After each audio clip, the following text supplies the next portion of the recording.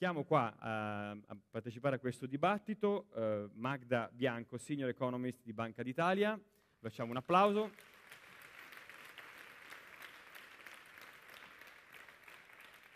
Buongiorno Magda. Rodolfo De Benedetti, amministratore delegato della CIR.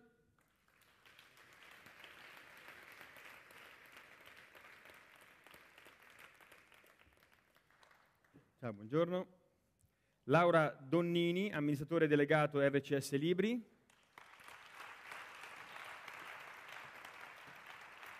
Bene. Patrizia Grieco, presidente di Olivetti.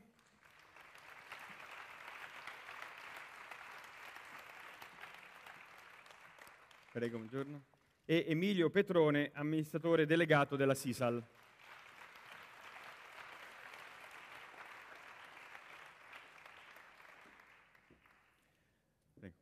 Allora, ci sono tre donne e due uomini, si è parlato di quote azzurre, comincerò da De Benedetti, se va bene con, eh, con tutti quanti. Comincerò, comincerò, da lui anche perché leggevo, la sua famiglia è ricca di talenti femminili, no? Ci sono moglie, tre figlie e anche il cane se l'è scelto, se l'è scelto sono, donna. Sono femmina. una quota di genere. Eh? Sono una Sono quota un di quoto- genere. un quoto di- Allora, in una società quotata come per esempio la CIR, ma lei non è soltanto a capo della, eh, della CIR, com'è, ed è difficile bilanciare appunto i risultati che vengono richiesti a breve termine, specialmente da chi investe nelle vostre società, e un'idea di sostenibilità a lungo, a lungo termine. E soprattutto le donne che ruolo hanno per cercare di conquistare e arrivare a questi, a questi obiettivi.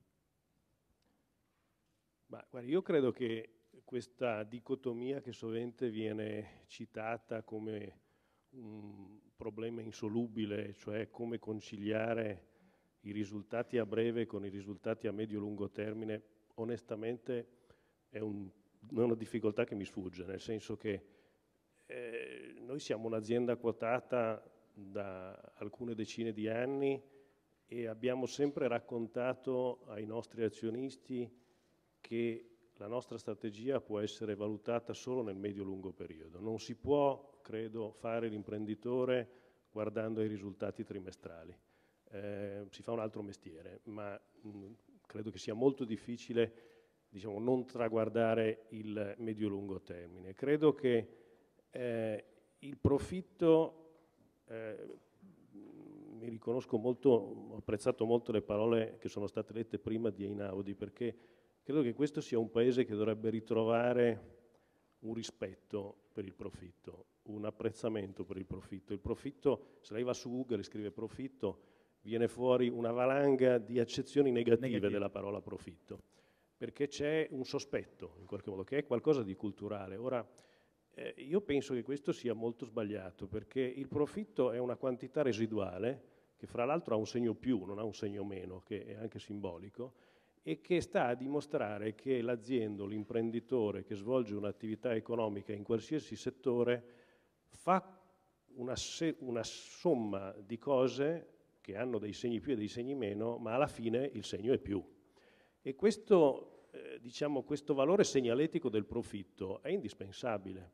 Cioè un'azienda eh, non, non vive e non può guardare solo all'ultima riga del conto economico che è diciamo, il profitto del conto economico e non occuparsi di tutte quelle altre accezioni della parola profitto che sono il rispetto dei clienti, dei dipendenti, dei fornitori, della- dell'ambiente, della comunità locale nella quale l'azienda opera, perché sarebbe una visione molto miope, perché magari si fa profitto per qualche mese o per qualche anno solo guardando quello, ma non si fa profitto nel medio-lungo termine. Per cui per tornare alla, alla sua domanda, così come oggi chiunque guarda al nostro paese non guarda i conti di quest'anno, ma guarda a quali sono le prospettive a medio-lungo termine e alla capacità di questo paese di intraprendere di- o di ritrovare un percorso di crescita. È la stessa cosa per un'azienda.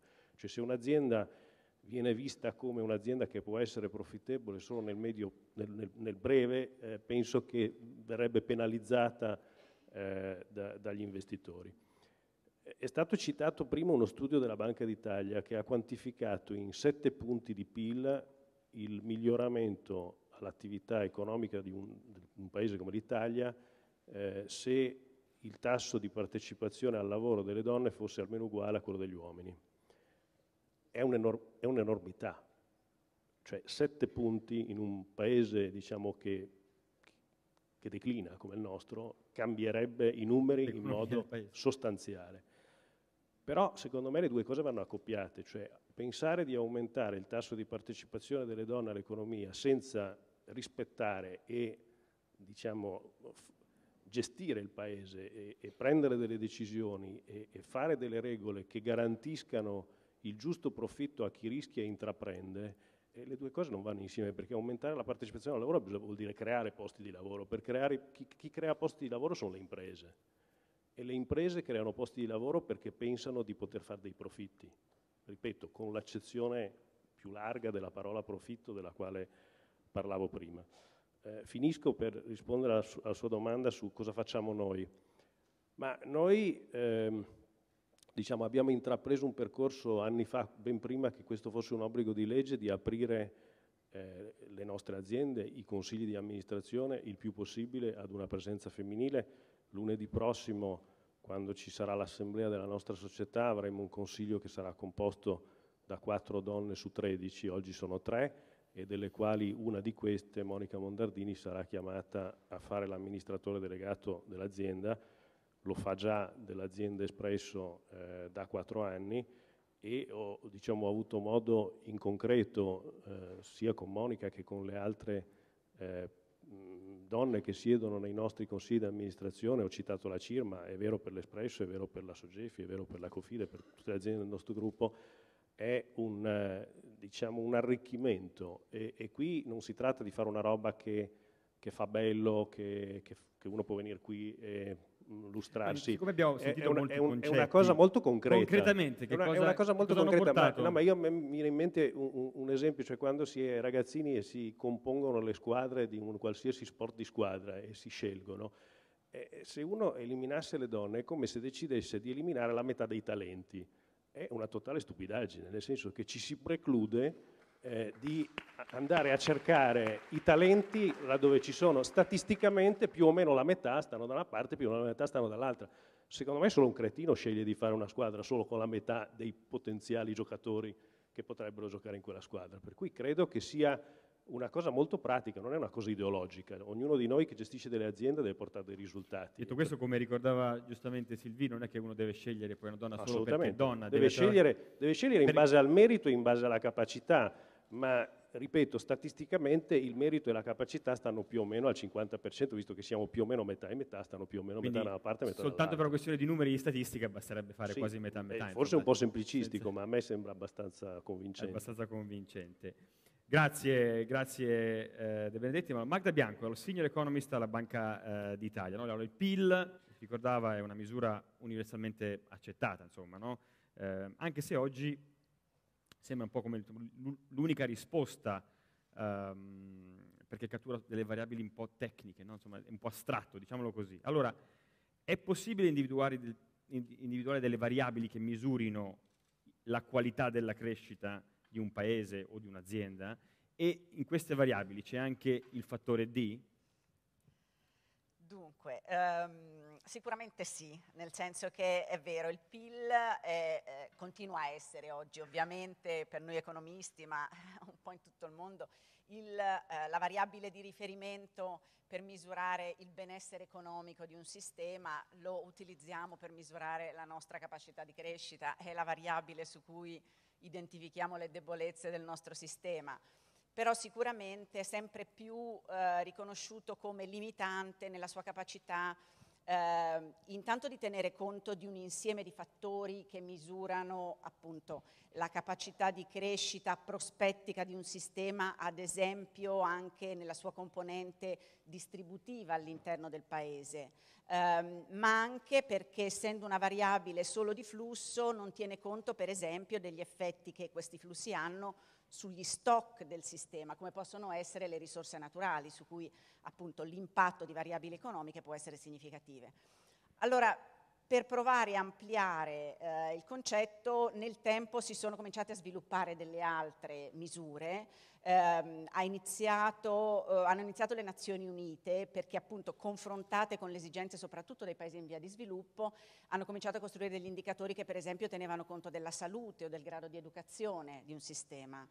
Eh, però direi che l'impulso fondamentale è venuto un po' dalla riflessione eh, fuori dall'economia in realtà, da filosofi eh, come Amartya Sen, che ha cominciato a, a diffondere e a rendere molto rilevante il concetto appunto di sviluppo sostenibile di cui parliamo oggi, eh, come capacità di un sistema di trasmettere, di riprodurre eh, alle generazioni future, lui diceva addirittura ai pronipoti, eh, stesso, la stessa capacità di soddisfare i bisogni, ma addirittura lui, può, lui può va, va, più in là eh, nel senso di identificare il benessere anche con le libertà fondamentali, la capacità di assicurarle. Allora, che cosa abbiamo a disposizione oggi per provare a tenere conto di questo? Um, io credo che un esempio molto importante, molto significativo in Italia oggi eh, sia eh, la costruzione in realtà da parte di Istat e CNEL eh, di un eh, insieme, di, di, un primo progetto con un insieme di indicatori di eh, benessere equo e sostenibile, eh, questo progetto BES, che ehm, prova a misurare questa possibilità di sviluppo con 12 indicatori, li devo leggere perché non me li ricordo tutti, anche se alcuni sono assolutamente ovvi. Eh, sono il primo la salute, il secondo l'istruzione, il terzo il lavoro, ma le capacità di conciliazione anche, e qua veniamo appunto a un aspetto rilevante anche per il mondo femminile, il benessere economico, le relazioni sociali, la politica e le istituzioni, la sicurezza, il benessere soggettivo, eh, il paesaggio e la politica culturale del paese, l'ambiente, la ricerca la capacità di innovazione, la qualità dei servizi. Potrà non essere l'insieme completo degli indicatori che ci dicono appunto quanto il nostro paese, quanto il nostro sistema è in grado di produrre benessere oggi, ma di riprodurlo anche per il futuro, ma sicuramente è un primo esercizio importantissimo, fondamentale, richiederà in qualche modo delle capacità di aggregare tutti questi indicatori forse in un unico indicatore che possano usare anche gli economisti appunto per fare le loro analisi, ma credo che sia eh, appunto un primo eh, tentativo importantissimo. Eh, io vorrei fare un flash sul profitto come strumento eh, che resta fondamentale, ehm, come diceva anche Benedetti. Ehm, le parole di, di, di, Einaudi sono sicuramente verissime anche oggi, il profitto resta un fattore fondamentale di sviluppo, di incentivo allo sviluppo e all'innovazione, richiede sempre di più, come abbiamo visto nella crisi finanziaria, regole via via più pregnanti a seconda di quanto possono essere i fallimenti eh, nel sistema, nei singoli mercati. Eh, però credo che abbiamo sempre più bisogno di riconoscere che il profitto, e qua gli economisti stanno sviluppando pure loro teorie, non è l'unico motore di comportamenti e di ehm, incentivi a fare, a fare bene. Eh, esistono altri eh, meccanismi incentivanti che sono eh, l'altruismo, la voglia di eh, ottenere benessere anche per gli altri che ci sono intorno. Allora politiche, politiche sociali, economiche, media, eh, partecipazione sociale in senso lato che tenga conto anche di questi fattori incentivanti nel comportamento dei soggetti, credo che siano fondamentali per raggiungere equilibri migliori, più ehm, a volte più complessi, ma che garantiscano anche di più le generazioni future. Mm, tra i, i, i fattori, gli indicatori ha menzionato eh, conciliazione tra lavoro, immagino, e famiglia, vita, insomma, e vita, vita, e vita, vita quotidiana. in senso lato, sì. Laddove mh, mm, è ormai è, è prassi, forse uno stereotipo, è un vecchio vizio, forse no, specialmente quello italiano, dove si tende sempre, questa conciliazione la si cerca sempre nel, nel lavoro femminile e molto di più di quanto non lo si cerca nel lavoro, nel lavoro maschile. Sì, eh, perché nei fatti il carico della conciliazione, almeno in Italia, eh, grava soprattutto sulle donne. Ovviamente le esigenze di conciliazione dovrebbero riguardare tutta, tutta la, la popolazione, certo, e quindi anche gli strumenti di conciliazione essere via via più tarati su entrambi i mondi. In questo senso credo che ovviamente tutti gli strumenti a supporto eh, delle attività di cura sono importantissimi, ma strumenti che riguardano l'organizzazione del lavoro eh, sono fondamentali, soprattutto appunto se percepiti come fruibili da entrambi e non, tra virgolette, ghettizzanti perché rivolti prevalentemente alle donne. E tra l'altro a proposito di donne, leggevo un interessante eh, dato qui di Union Camere, Union Camere che, che segnala che la maggioranza delle nuove imprese avviate negli ultimi tempi sono a matrice femminile eh, in, questo, in, questo, paese. Quindi c'è adesso un maggiore equilibrio tra imprese diciamo, maschili e imprese femminili o, o siamo ancora veramente all'inizio di una lunga scalata? Direi la seconda, nel senso che eh, sicuramente la maggiore dinamica, come diceva il Ministro Passera, quest'anno nel 2012 l'hanno mostrata le imprese femminili.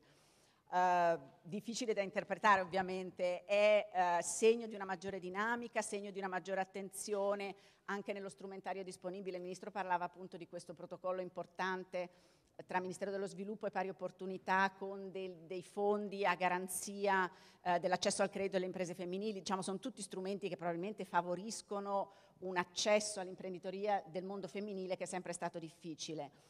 Però quanto questa maggiore, maggiore presenza femminile nell'imprenditoria quest'anno sia dovuta a questo o non sia dovuta a, una, a, a, meccanismi più di necessità di accedere in qualche modo a un mercato del lavoro eh, che, che, soffriva probabilmente nell'altra componente familiare, con maggiori difficoltà per, eh, per, la parte maschile di accesso al mercato del lavoro è molto difficile dirlo ancora in queste condizioni. Quindi se lo dobbiamo leggere interamente come un segnale positivo o anche in parte come effetto della crisi sul mercato del lavoro maschile, ancora, siamo, ancora, va, no, ancora va, valutato. Va valutato. Sì.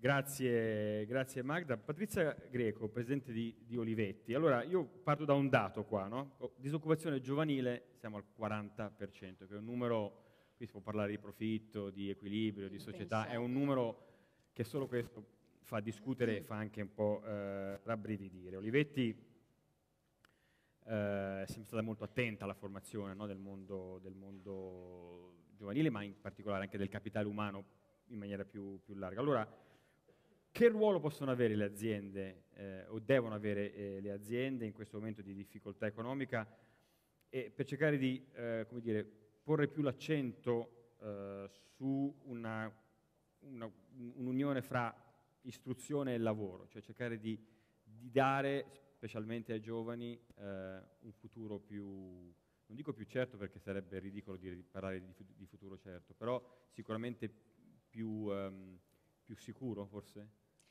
Adesso sicuro è una parola, come dire, una parola certo. difficile da usare.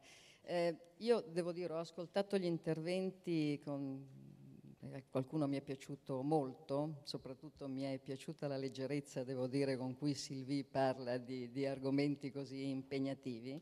E allora mi è venuto in, stamattina, io mi sveglio molto presto e purtroppo passo un'ora a scanalare e ho visto un servizio interessante eh, che mi fa dire che la crisi che noi stiamo vivendo, che non è certo solo italiana, ma insomma in questo paese ha dei toni eh, particolarmente forti, c'entra poco col profitto, c'entra molto con l'avidità che ha dominato negli ultimi anni la società italiana, ma non solo la società italiana, e c'entra davvero poco col profitto. Io stamattina ho visto un servizio in cui un centinaio di operai rimasti senza lavoro hanno rilevato dal fallimento la loro azienda e questo operaio imprenditore con grande soddisfazione diceva abbiamo chiuso il primo anno con profitto e lo abbiamo reinvestito. Lo abbiamo reinvestito nelle nostre risorse umane e lo abbiamo reinvestito in macchinari.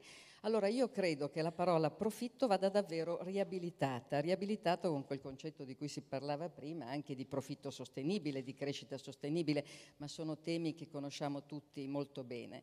Il contesto olivettiano degli anni 60 e il contesto di oggi non sono neanche lontanamente paragonabili, eh, parliamo davvero di tempi, eh, di tempi, molto diversi che hanno vissuto eh, dire, momenti, mo- momenti, davvero molto diversi, la fabbrica era il centro della vita, l'individuo era il motore della fabbrica, attraverso il lavoro acquistava dignità e quindi libertà che portava a sua volta nella comunità e nella crescita della comunità. Allora, mi chiedo peraltro spesso anche cosa avrebbe fatto Adriano Olivetti se avesse dovuto affrontare quella rivoluzione epocale che ha colpito quel tipo di industria nel passaggio tra l'elettromeccanica e l'elettronica, che ha portato poi inevitabilmente alla necessità di fare grandi ristrutturazioni, ma ristrutturazioni necessarie perché le aziende fossero sostenibili e potessero, e potessero continuare a vivere, però certamente si sarebbe scontrato con un suo modello di lavoro e di dignità dell'uomo all'interno, all'interno dell'azienda azienda. Io credo che dobbiamo metter, rimettere l'uomo eh, dire, al centro delle nostre politiche, che siano politiche di paese o politiche di impresa e dobbiamo soprattutto riattivare l'unico vero strumento democratico nel far funzionare l'ascensore sociale, che è il merito, non ce ne sono altri. E il merito deve partire davvero dalla scuola, è soltanto attraverso il merito che noi possiamo, e quindi mi riferisco al merito delle donne, al merito dei giovani, al tema della disoccupazione giovanile al 40%, ma comunque anche a un tema di disoccupazione al 12% che non è banale, no? non è banale, quindi dobbiamo cercare di riassorbirla e per cercare di riassorbirla credo che le, le imprese debbano avere un po' più coraggio, ma perché le imprese possano avere un po' più coraggio ci vuole certamente che torni a, scusate uso delle parole molto semplici, girare liquidità nel sistema lo Stato non può chiedere ai cittadini di adempiere quando a sua volta non adempie nei confronti dei cittadini e delle imprese e quindi lo Stato incominci a pagare i suoi debiti perché questo aiuta a rimettere liquidità nel sistema e state tranquilli che le imprese, negozi peraltro dei vincoli meno rigidi con la comunità economica europea perché ormai è pensiero diffuso che di rigore si può morire credo che nessuno di, voi, di noi, soprattutto per i nostri figli, abbia grande voglia di morire e quindi faccia quello che deve fare, riacquisti dignità nei, ai nostri occhi, riacquisti rigore, faccia seriamente quello che deve fare. Le imprese stanno, io credo, soltanto aspettando di, poter, di tornare a investire. Il coraggio a quel punto ce lo avranno. È vero, e tra l'altro quando lei parla anche di ritrovata dignità, forse anche di ritrovato equilibrio forse fra datore di, lav- di lavoro e, e, e, lavoratore, nel senso che oggi quando le aziende chiedono magari uno sforzo in più ai lavoratori, perché appunto da un certo punto di vista c'è meno lavoro, quindi magari chiedono di rimanere a casa, ma in altri casi vengono richiesti dei, dei, dei lavori aggiuntivi semplicemente perché ci sono meno, meno, persone che possono lavorare. Quindi ci deve essere anche un, un nuovo equilibrio sociale poi magari no? tra tra, tra, il datore di lavoro e il, e il, lavoratore che si trova coinvolto poi se stesso nella crisi e quindi dicendo se io posso dare una mano vuol dire che posso dare una mano anche all'impresa che poi sopravvive invece di, poi, invece di chiudere io penso che oggi dire, i lavoratori abbiano grande voglia di contribuire, credo però che dobbiamo smetterla e davvero pensare a come fare a dare più tutele a chi non ne ha del tutto. Eh, togliendone un po' forse a quelli che ne, ne hanno troppe. avuto troppe e che mi scusi, alla fine non ne hanno, perché la disoccupazione al 12% vuol dire che le aziende comunque chiudono e licenziano. Quindi il tema è il riequilibrio, lei ha ragione, tra datore di lavoro, lavoratore, per l'amor del cielo, credo che oggi ci sia grande disponibilità da parte di entrambi, ma credo che soprattutto il passo avanti lo dobbiamo fare nel dare maggior dignità a quelli che nel mondo del lavoro non ci sono e di diritti proprio non ne hanno ai giovani al 12% di disoccupazione. Emilio Petrone, lei è l'amministratore delegato della, della Sisal. Ehm, diverse imprese in Italia, non soltanto la Sisal, hanno avviato programmi di, di, welfare aziendale e quindi questo sicuramente è anche un altro modo per appunto, stabilire questo, questo equilibrio. Ci può fare degli esempi concreti di come questo welfare aziendale ha contribuito, contribuisce alla crescita, allo sviluppo in un momento anche economic- economicamente così difficile? Io credo che sia davvero, da, davvero intuitivo, eh, lo diceva anche il dottor De Benedetti, eh, noi che, chi gestisce un'azienda, chi gestisce delle risorse ha l'obbligo, il dovere eh, di rendere, di attrarre quanti più talenti possibili, di svilupparli il meglio possibile e quindi di avere la squadra manageriale e la gestione dell'azienda che sia la migliore, la migliore possibile in assoluto. Questo non si può fare con metà dei talenti, non si può fare avendo una sottorappresentazione del talento del talento femminile. Io credo che in Italia ci sia un po' più in generale un, un approccio ancora non, non, completamente maturo alla diversity e quindi alla diversità eh, all'interno, all'interno, dei team rispetto ad altre culture. E in particolare, insomma, io credo che i numeri, le statistiche le conosciamo tutti, ci sia oggettivamente un, una, una difficoltà per i talenti femminili ad emergere. Ma nel nostro caso particolare io ehm, faccio l'esempio concreto che sia quello, quello poi più utile. Um, noi avevamo, in parte abbiamo proprio questo problema di eh, sottorappresentazione dei talenti femminili, soprattutto, soprattutto, al vertice, però devo dire che di fatto ci eravamo un po' eh, culturalmente seduti su questo tema, ci eravamo un po' abituati e questo è una cosa che porto anche per, eh, no, per, per stimolo eh, alla discussione. Si guardano le statistiche, si vede che si è più o meno in linea con le medie nazionali e tutto sommato ci si abitua.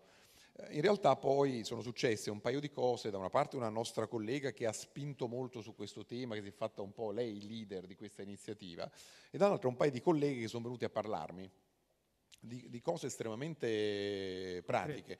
Una mi ha, detto, mi ha detto, guarda, io sono molto contento di lavorare con te, di lavorare in questa azienda, eh, però devo dirti, c'è una cosa che veramente non funziona e che si utilizza un linguaggio da caserma, mi ha detto. Dice, guarda, è una roba che Adesso cioè, si fanno queste riunioni, sono tutti uomini, e, beh, cioè, si usano dei termini, delle frasi, delle robe che veramente io non è che voglio fare, è stata anche carina, insomma, no, non è che voglio fare quella, di, però veramente sgradevoli. Uno. E un'altra mi ha detto, dice guarda, eh, la, il problema che ho io, ehm, sono due persone diverse, mi ha detto, io ho una figlia, una famiglia fuori fuori Milano, devo rientrare a casa e i miei colleghi maschietti fissano le riunioni sistematicamente alle 6, alle 7, alle 7 e mezza di sera e io eh, non... Eh... Allora sono, piccole, sono, cose alle quali oggettivamente non, non, non si fa più caso. Ci, no? sono, ci, sono, delle aziende, se non sbaglio una di queste, non voglio fare pubblicità, ma una di queste è Ikea, se non sbaglio, perché lo so perché eh, mesi fa ero con... Un, uno dei, dei, dei, dei, delegati di Ikea in Svizzera che mi diceva che lei non fissa mai le riunioni dopo le 5 di pomeriggio. Allora, se Ikea può funzionare a livello mondiale senza riunioni dopo le 5 del pomeriggio, penso che tutte le aziende del mondo lo possano fare, sì, no? sì, sì, Questo mi sembra abbastanza, abbastanza chiaro. Però quello che voglio dire è che ci si abitua, no? Ci si abitua, diventa parte della cultura aziendale, non si dà più importanza a queste cose, non le si vede neanche più. Allora noi da questo, da questi spunti, per la verità, abbiamo deciso di prendere la cosa eh, di petto, un po' anche la, po' la, la cultura eh, che, che, sto cercando io di, di, portare in azienda e da questo abbiamo deciso di fare un programma abbastanza strutturato. L'abbiamo fatto tra l'altro con l'aiuto di, di, di Valore D, l'abbiamo chiamato WISE, significa Women in Sisal Experience, un nome che è stato dato tra l'altro dal team che abbiamo, che abbiamo creato e, e, stiamo facendo delle cose, stiamo facendo delle cose concrete, abbiamo fatto un... Abbiamo fatto un programma di change management proprio per far venire fuori queste, questi problemi e che non venissero fuori solo da, dall'incontro con, così sporadico. Quindi abbiamo fatto dei, dei, dei focus group, dei gruppi di lavoro e devo dire sono venute fuori una serie di cose incredibili. Eh, incredibili, alcune anche molto negative, devo dire, eh, che, che, che, ti fanno, ti fanno, che ti colpiscono e che hanno colpito un po', un po', tutti. Poi abbiamo fatto un programma di formazione eh, dedicato eh, per aiutare ehm, eh, i nostri migliori talenti femminili, ma abbiamo coinvolto anche le, le, le quote azzurre, quindi i maschi all'interno del, del, programma e fare in modo che si potessero creare dei piani di carriera. E ultimo, stiamo lavorando molto sul networking, cioè sulla capacità di di scambiarsi esperienze sia all'interno dell'azienda che, che, al di fuori, appunto utilizzando anche il network di, di, Valore D. E devo dire che è stata una delle iniziative da quando io lavoro eh, in azienda che ha creato più entusiasmo e devo dire anche a me personalmente ha dato un livello di popolarità, ho ricevuto una quantità di email, di complimenti, di riconoscimenti proprio da parte delle, eh, delle persone incredibile. Quindi, questo per dire che eh, a volte il problema eh, non lo vediamo e, e invece, invece va, va, guardato più approfonditamente, ma anche che ehm, poi risolverlo, o almeno affrontarlo per risolverlo, eh, non è così, così difficile. Do un paio di numeri, noi 18 mesi fa avevamo l'11% di dirigenti eh, donne in azienda, dopo 18 mesi siamo saliti al 17%, in realtà se escludiamo eh, la fascia del, del, del, eh, comitato direttivo che ovviamente è un po' più lento perché non possiamo mandare a casa eh, qualche maschietto bravo per, per, per, per, inserire una donna se non, cioè ci vuole un po' più di, un po più di viscosità nel, nel, rinnovamento, siamo al 21% eh, al netto di, questi, mm, eh, di, questo gruppo e abbiamo promosso negli ultimi 18 mesi quattro dirigenti donna, due interni, eh, parte di questo programma, e due invece dall'esterno. E quindi stiamo oggettivamente... Mm, e quindi anche in concreto, al di là di evitare magari le riunioni la sera alle 7 o alle 8, così. Poi altri esempi concreti, ma non soltanto magari de, de, de, della in generale, cioè quando si parla di welfare aziendale, cosa devono fare, cosa potrebbero fare le aziende per poter mettere io dico le donne perché siamo in tema di donne, però insomma non c'è niente di male a dire che anche un padre magari alle 6 o alle 7 di sera deve andare a fare la spesa perché deve cucinare, perché magari la moglie viaggia e, e non può essere a casa, insomma. Quindi poi eh, concretamente, quali, quali altri eh, esempi, anche per dare qualche idea, anche, ci sono molti esperti in questa sala, magari chi ci guarda, chi ci guarda da casa in streaming può, può, può prendere qualche, eh, trarre qualche, qualche, qualche idea da... Um, da come si possono aiutare, non dico, dico, non solo le donne, ma in particolare insomma, le donne. Eh, ma io credo che un tema molto importante sia quello della flessibilità, eh, perché ci siamo un po' abituati, e devo dire la nostra generazione l'ha portato un po' avanti quasi come una bandiera, a una flessibilità diciamo, del dipendente, del manager, del lavoratore nei confronti dell'azienda, quindi una flessibilità totalmente unilaterale. No? Chi non era o non è flessibile automaticamente non è considerato un talento, non è considerato sufficientemente dedicato alla causa, eccetera. Allora, questa è una cosa sicuramente eh, essere flessibili nei confronti dell'azienda è una cosa positiva, però io credo che si debba iniziare anche a, a, ad offrire flessibilità e quindi a vedere delle aziende più flessibili nei confronti dei lavoratori. Il lavoro a casa, per esempio? Sì, in tutti i sensi, devo dire. Molto ehm, la flessibilità negli orari. Io credo che questo sia straordinariamente importante. Cioè, se siamo delle persone, se abbiamo delle squadre, se ci fidiamo dei nostri collaboratori, io credo che non sia tanto importante davvero eh, il, il, l'orario, il numero di ore, ma il, gli obiettivi, i risultati che si portano avanti. Eh, noi qui stiamo facendo delle cose anche col telelavoro, la possibilità di lavorare a casa, lo stiamo testando in questo momento e devo dire che effettivamente è una delle cose che, delle cose che può, può funzionare. Poi ci sono tanti altri modi effettivamente quello di sostenere non necessariamente le donne, donne e uomini, un po' nelle, nelle difficoltà che tutti abbiamo nella vita quotidiana, no? quindi nel, eh, la, la, la, il supporto eh, nella gestione dei figli, che significa appunto casomai fare degli accordi per, eh, per gli asili, ma anche poi in seguito, visto che come eh, diceva la dottoressa, i figli non è che a 3-4 anni poi scompaiono, anche per lo sviluppo, creare dei programmi di formazione, aiutare nella, nello sviluppo e nella formazione dei programmi di scambio con altre aziende. Ci sono una serie di cose che io credo si possano fare e che possono avere un impatto straordinario ehm, sulla motivazione, ma siccome qui parliamo di profitto, io, io volevo chiudere con questo, ehm, anche incredibilmente sul profitto dell'azienda. Cioè io credo che tutte queste cose, quando parliamo eh, di eh, responsabilità sociale e quindi quella esterna all'azienda, ma in particolare quando parliamo di, di welfare aziendale, quindi dell'attenzione alle persone che lavorano insieme a noi e per noi, eh, occuparsi di questi temi e fare delle cose giuste, delle cose, delle cose positive, abbia un incredibile eh, risultato sui risultati dell'azienda. Lo vedremo credo in uno studio di McKinsey che eh, seguirà subito dopo questo, questo dibattito. Greco, rapidamente, la tecnologia aiuta moltissimo eh, naturalmente chi vuole lavorare a casa. Ora lo chiedo a lei perché rappresenta qui eh, Olivetti, no, no, dico, la tecnologia aiuta tantissimo a poter fare il lavoro da casa, quindi anche questo rispetto magari a 10-15 anni fa, dove una connessione internet per poter lavorare a casa era impensabile, avere lo stesso tipo di accesso alle informazioni a casa rispetto, rispetto a, a, all'ufficio. Eh, devo dire che non sono convinta che sia del tutto la soluzione. Eh. Non ah. sono convinta che sia del tutto la soluzione, cioè eh, non credo che pensiamo a un mondo in cui il contributo femminile debba essere quello di stare a casa collegati col PC e tagliate completamente fuori da un altro mondo. Ma se lo richiede però no, se lo richiede no, l'azienda è d'accordo. Voglio dire che aiuta, così come aiuta quando siamo in giro per lavoro durante il fine settimana, certo. andarsi a leggere le mail, cioè è come se, se fossimo sempre produttivi, no?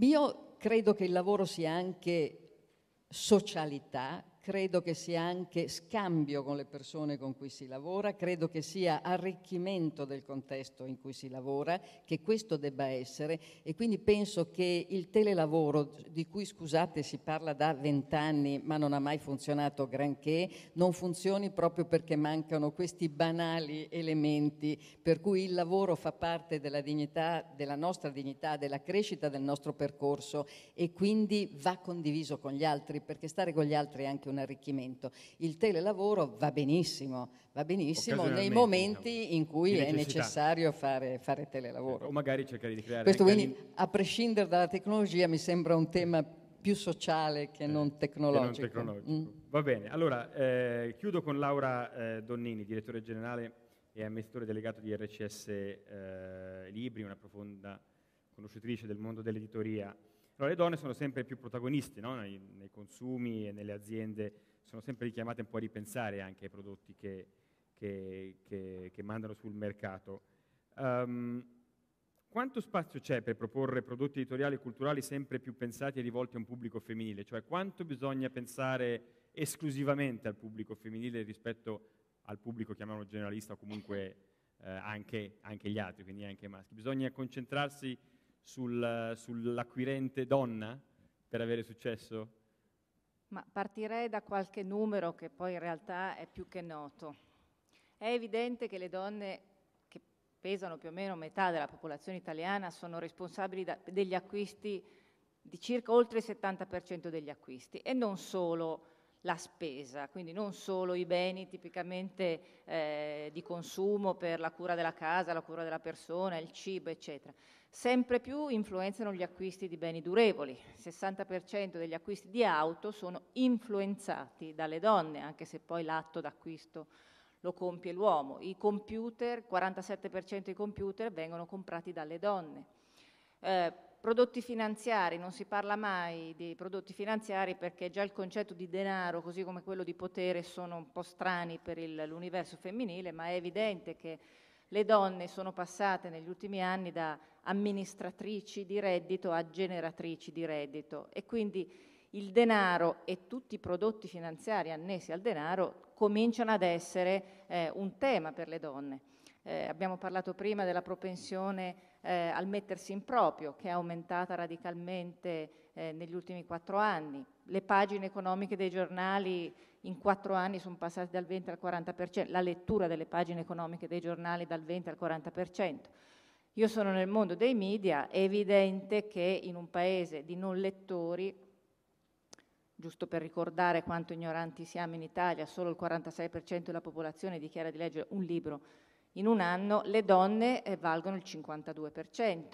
Non parliamo dei femminili, non parliamo della TV generalista, ma è evidente che le donne sono in effetti il target di riferimento. Ora, qual è il tema tra fare prodotti per le donne e credo che oggi ci sia sempre più un'attenzione, lo si vede da, tanti, da tutti, tutti, i beni di, di consumo, eh, a, a, riconoscere un po' le esigenze femminili, ma eh, c'è un tema fondamentale. Le aziende oggi hanno bisogno di una reputazione, di una corporate image che sia protetta e in qualche modo alimentata positivamente. E chi è che alimenta la corporate image delle aziende? Le donne. Perché? Perché le donne oggi sono, hanno trovato un'agorà per esprimere le proprie opinioni nei social media. Sappiamo qual è l'incidenza di Facebook nel mondo in Italia, sappiamo che 27 milioni di, don- di uomini e donne eh, di popolazione va su internet, oltre la metà di queste sono donne e guarda caso sono quelle particolarmente attive. Allora non è solo una questione di fare prodotti attenti alle esigenze femminili, ma è anche una questione di rispetto, di dialogo, quindi qualsiasi prodotto o forma di comunicazione, di intrattenimento, di informazione deve tener conto della reazione e oggi la reazione delle donne può essere forte, lo si vede dal successo di tutti i siti, dei blog, delle community che in qualche modo nascono intorno a prodotti, marchi o anche solo temi. E il tema delle donne, per esempio, entrando più nello specifico sui, sui temi della parità, ha visto sorgere nell'arco di un anno una quantità di eh, iniziative su Twitter, su Facebook, incredibilmente capaci di smuovere le coscienze, per cui da questo punto di vista è obbligatorio per la gente, eh, per, la gente, scusate, per i manager e comunque le persone eh, che in qualche modo possono determinare le scelte, tener conto di questo. Aggiungo un piccolo dettaglio personale, che però secondo me, oltre ad essere un fatto di orgoglio per me, però la dice lunga. Io ho lavorato per sette anni in un'azienda considerata di serie C, nel senso che ho fatto per sette anni il direttore generale di Arlecchino Mondadori, che notoriamente è nota per, perché fa i prodotti, i romanzi rosa a marchio Harmony. E nell'elite culturale del media italiano i romanzi rosa sono roba da serie C. Peccato che quel modello di business fosse un modello straordinariamente avanzato e quell'azienda fosse a livello mondiale all'avanguardia rispetto a quella che poi è stata la transizione al digitale, eccetera. Allora, parlare di romanzi rosa uguale, femminile uguale rosa uguale serie C, nel mio caso in realtà si è trasformata in una storia da Cenerentola, no? perché da lì sono passata in Mondadori e adesso ho una posizione ancora più grande in un'altra azienda. Però tutti i miei colleghi in tutto il percorso che ho fatto in questi dieci anni, ancora ieri, tanto per dirne una, quando parla, pa, senti parlare di prodotti femminili, parlano di alto, basso e femminile. Alto, basso e femminile è una grandissima follia, perché il femminile che cos'è? Femminile uguale a un certo sottogenere che in qualche modo denota dei tratti. Qui secondo me sta la sfida, la sfida delle aziende di mettere nelle posizioni che contano donne che siano in grado di portare la trasformazione innanzitutto all'interno dell'azienda e poi chiaramente nei, nei prodotti che vengono fatti. Ma poi ci sono molti temi che si sovrappongono, no? se una volta so, la cura del corpo per esempio era una cosa prettamente femminile, oggi ci sono dei, dei, dei settimanali o dei mensili dedicati alla cura del, del, del corpo maschile, la cucina, tutti i grandi chef sono, sono, praticamente uomini, quindi tutti quelli che vanno in televisione a parlare di cucina e cucinare sono predominantemente uomini. Quindi insomma c'è, c'è un po' un accavallamento no? del, del, del, del, mondo maschile e del mondo femminile anche, nella, anche nei, eh, nei, media. Allora, abbiamo ancora pochi minuti prima di dare la parola alla ricerca di McKinsey di cui si, McKinsey di cui si parlava prima, però vorrei fare una domanda generale un po' a tutti, perché abbiamo parlato molto di quello che è successo di, e, di quello che sta succedendo adesso. Però se noi, visto che siamo in, in, giorni politicamente caldi e quindi si sta formando un nuovo governo e quindi si spera magari che la componente femminile, anche se in quello che appena che sta, sta per decadere, aveva comunque tre donne di altissimo, di altissimo, livello. Ecco, se uno dovesse guardare avanti adesso e, e chiedere al, al, governo che cosa dovrebbe fare concretamente, quali decisioni de, de, devono essere prese concretamente per stabilire questo equilibrio fra profitto eh, leadership e, e, rispetto. Da dove bisogna partire? Faccio veramente un paio di minuti a testa, senza particolare ordine, se qualcuno ha già, so se De Benedetti vuole già, ha già qualcosa in mente. Da dove bisogna partire? Da, do, da dove si parte? Ma eh, la domanda è vasta, eh, per cui la risposta certo. è complessa. Chiaro, chiaro. Eh, se vogliamo semplificare, io penso che bisognerebbe partire dal lavoro. Penso che quando si vive in un paese dove il 40% dei giovani non hanno lavoro e il 12% in generale non hanno lavoro ehm, e, quest, e, questi numeri stanno aumentando perché la recessione è, è, continua, non è che è finita e per cui rischiano di essere peggiori solo fra qualche mese, penso che l'urgenza eh, di eh, mettere al centro della, dell'agenda politica il tema del lavoro sia totale eh, questo vuol dire, credo, eh, diciamo, fare in modo che qualsiasi decisione in materia di politica economica che viene presa in sede di governo, in sede di Parlamento, ci si ponga la domanda e si, al limite si costituisca un, un gruppo di lavoro, una commissione che dica qual è l'impatto sul PIL, qual è l'impatto sulla eh, capacità di creare lavoro. Di questa, è, è favorevole o non è favorevole? Se non è favorevole non va bene. Bisogna forse essere un po' estremisti e se si vogliono stabilire delle priorità bisogna anche magari diciamo, esagerare un po', ma credo che in questo, in questo momento sia, eh, sia, essenziale. Purtroppo negli ultimi anni non è stato fatto e temo che una delle cause della, grave recessione economica che in Italia è, è peggiore rispetto a quella che c'è nel resto dell'Europa sia anche questa. Magda Bianco, creare lavoro quindi è sicuramente un, un, buon modo per fare ripartire eh, l'economia, quindi mettere anche le aziende in condizioni di assumere, di pagare meno magari il lavoro?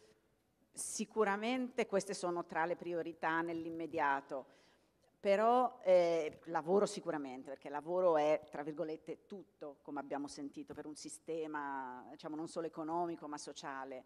Eh, se io dovessi chiedere però qualcosa a un governo, forse questo è un po' più difficile perché non sappiamo che prospettiva avrà, eh, sarebbe di cercare di avere davvero una prospettiva di lungo periodo, cioè di cominciare ad avere, a ragionare sul futuro nostro, dei nostri figli, appunto come diceva Sen, forse addirittura dei nostri pronipoti, di fare scelte anche difficili, ma di provare a giustificarle appunto in una prospettiva di rinunce nostre, di qualcuno di noi, di qualcuno che forse ha beneficiato troppo, appunto per garantire un futuro vero di un intero sistema, appunto di generazioni future, quindi dei nostri giovani, ma forse non solo loro, appunto anche di quelli a venire.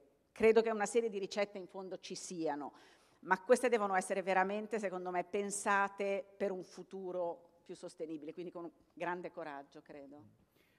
Patrizia Greco, lei nel suo intervento ha toccato una, una, dire, un tasto dolente, no? che è il vasto debito che la, la PA nei confronti eh, delle aziende. Le dico solo una cosa che mi è successa ieri sera, visto che ognuno parla di, uh, di piccoli aneddoti personali, ma sono poi quelli che ci fanno capire meglio forse. No? Ero a cena con degli amici, eh, alcuni inglesi, alcuni americani, e, e quando gli dicevo ma da dove si riparte, perché gli ho fatto il problema fondamentale delle aziende non è soltanto il lavoro così, ma è anche che hanno dei grossissimi, de, dei grossissimi crediti nei confronti dello Stato che contemporaneamente chiede eh, tanti soldi, e tasse e quant'altro. E la, la, la, domanda che mi hanno fatto a me, ma perché lo Stato non li paga? Cioè come se fosse una cosa normale che lo Stato paghi i suoi debiti. Cioè per loro l'idea che ci fossero miliardi di debiti nei confronti delle aziende e che, questi, in, questi, che in qualche maniera questi siano veramente non un granello di sabbia, ma una, una, una, una chiave inglese che, che blocca questo sistema, è un concetto che fuori da questo confine si, si capisce, si capisce eh, difficilmente. Quindi forse si potrebbe ripartire questo governo da dove si sta chiudendo questo, cioè cercare veramente di mettere condi- il, la pubblica amministrazione in condizioni di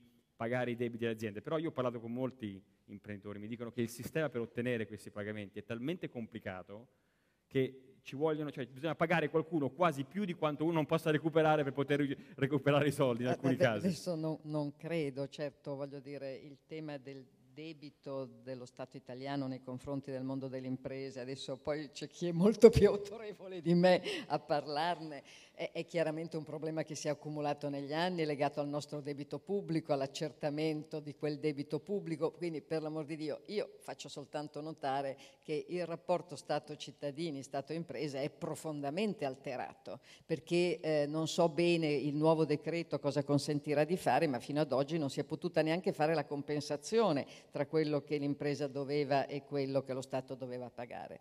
Eh, quindi certamente è una, è, è una, priorità, così come è una priorità cercare di creare le condizioni perché appunto venga rimessa liquidità nel sistema. Quindi se si potessero allentare per esempio un pochino le norme di Basilea 3 per quello che riguarda il sistema creditizio sarebbe un altro grande aiuto verso il mondo delle piccole e medie imprese, soprattutto verso il mondo delle piccole e medie imprese. Tenete sempre conto che in alcune eh, situazioni noi paghiamo i dipendenti a 30 giorni e veniamo pagati a due anni.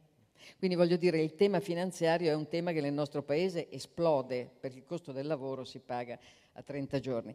Adesso, quindi il tema è, è davvero molto complicato, penso che sia stato estradato, forse non saranno le misure definitive, probabilmente deve essere reso più semplice, ma credo che oggi ci sia grande consapevolezza che non si può più eh, scherzare. Personalmente credo che al nuovo governo chiederei soltanto misure sul lavoro, tanto qualunque misura eh, che abbia effetti positivi sul PIL deve generare occupazione. E quindi credo che la priorità sia generare, generare occupazione riassorbire, incominciare a riassorbire almeno in parte quel 12% che diventa che è drammatico per i giovani, ma io credo che diventerà drammatico in termini sociali se non si interviene, non si interviene drasticamente. Petrone, il passo successivo quindi poi qual è? Ma eh, non so se è un passo successivo, io, io credo, che, eh, credo, che, ci sia bisogno di, effettivamente sono d'accordo, di strategia, cioè di decidere quali sono le linee guida per il futuro, eh, qualunque esse siano, insomma, e, e, poi seguirle. In particolare credo che ci sia un grandissimo bisogno di una politica industriale eh, chiara e, e, solida. Negli ultimi anni da questo punto di vista si è, fatto, si è, fatto, poco, oggi non è molto chiaro quali sono i settori su cui lo Stato punta e quelli invece su cui punta meno. Io credo che, che, questo sia, sia, indispensabile come succede anche in altri, eh, in altri, paesi. Chiaro che questo significa fare scelte, no? ogni qualvolta si decide di eh, creare una strategia bisogna poi decidere delle priorità perché non si possono seguire 50 iniziative o 50 strade, bisogna seguirne 3, 4, 5 e quindi fare delle scelte, per questo ci vuole un governo, ci vuole un governo naturalmente che abbia, che abbia le idee chiare. Credo anche, secondo punto, che si possa sfruttare meglio eh, la relazione tra pubblico e privato, che eh, a volte viene vissuta solo in maniera, adesso ne stiamo parlando, an- antagonistica e non di collaborazione. In realtà oggi le aziende private hanno tantissime risorse e competenze che potrebbero essere messe al servizio del pubblico, eh, ricevendone in cambio insomma, una chiarezza strategica per il futuro. Eh, faccio un esempio, si potrebbero, si potrebbero, comunque chiedere a delle associazioni eh, di categoria delle analisi di settore e, e, e, e, condividerle appunto per aiutare chi deve decidere a, de- a decidere su cosa puntare e quali sono i settori chiave su cui vogliamo fondare lo sviluppo del Paese nei prossimi 3-5 anni. E, Donini, lei che rappresenta qui il, il mondo dell'editoria, un altro settore in insieme grande... Però, eh? eh? Insieme. Sì, sì, insieme. Questo è vero, questo è vero. Comunque è un settore eh, che affronta una crisi, non dico più grave rispetto agli altri, ma insomma sicuramente eh, ci vogliono delle idee, ma non soltanto delle idee, bisogna anche mettere, eh, essere messi in condizioni di poterle poi applicare queste idee. No? Da, dove, da, dove, si riparte? Da dove si può ripartire? Se, se si potesse con una bacchetta magica, magica chiedere al governo da domani fate così, o decidete colà? Beh, io condivido in pieno quello che hanno espresso i colleghi. La prima ricetta che mi verrebbe da, da pensare, stante le, le, aspettative che la riforma Fornero aveva generato e quindi anche l, la partecipazione di tutti i giovani, ma soprattutto delle donne che lavoravano con me nell'azienda precedente, era la detassazione anche parziale relativa all'occupazione diciamo, giovanile entro una certa soglia d'età piuttosto che delle donne. Quindi in qualche modo avere delle misure che oggettivamente rendano più flessibili le, assunz- rendano più, eh, flessibili le assunzioni e detassate. In seconda battuta, ma questo sarebbe un auspicio, eliminare le misure di welfare aziendale dalla tassazione delle imprese e dalla contribuzione dell'individuo. Io ricordo vent'anni fa, mi sembra fantascienza, un'esperienza nell'azienda dove sono stata dieci anni a proposito di profitto e anche di eh, commitment e di contributo che poi ogni singolo individuo può dare al risultato aziendale, valeva il principio del profit sharing, cioè l'ultimo della scala diciamo, aziendale, quindi notoriamente il centralinista e l'amministratore delegato avevano dei percentuali chiaramente variabili, ma partecipavano a una quota del profitto annuale. Quindi distante dal concetto di MBO di oggi, no? per cui il risultato, eh, raggiungimento del risultato è appannaggio di alcune figure, però in qualche modo portare tutti alla partecipazione al profitto. Non so se questo attraverso, ancora una volta, misure di, tra virgolette, detassazione o meno. E poi il tema della, di che cosa possiamo fare noi. Diciamo nel media concluderei dicendo che abbiamo una grandissima responsabilità, le televisioni in primis, i giornali, eh, che siano quotidiani, che siano periodici, i libri, che è la responsabilità di far leggere al femminile una società e quindi portare la consapevolezza del, de, dei modelli, che sono però i, modelli veri, i modelli delle donne autentiche, non eh, quelle rappresentate notoriamente o nelle fiction televisive piuttosto che eh, nei romanzi di genere, e portare in qualche modo tutta la popolazione ad avere dei modelli che in qualche modo mettano in evidenza le caratteristiche e le parità.